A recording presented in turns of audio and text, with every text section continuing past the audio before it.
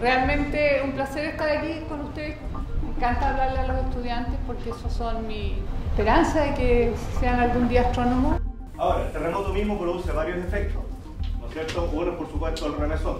Vamos a hablar ahora sobre tipos de robots. Este año que fue hace, hace dos meses, en junio, fue en Brasil el Mundial de Robótica.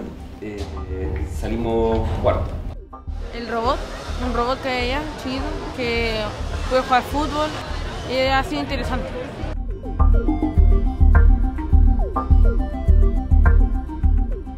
Las charlas han sido estimulantes, han sido buenas, de lo que se trata de cada especialidad. Yo vine especialmente por la rama de minería. ¿Cómo lo pasaron hoy día? ¡Bien! ¿Qué fue lo más divertido?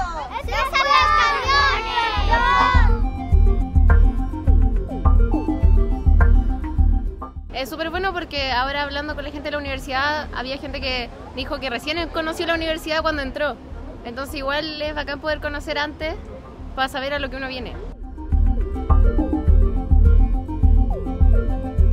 Pude tener una conversación quizá más cercana sobre las materias en las que quiero estudiar y me la estaban dando expertos y los profesores de esta misma área me gustó mucho, o sea, ya que todo decidido y me encantó la universidad en sí.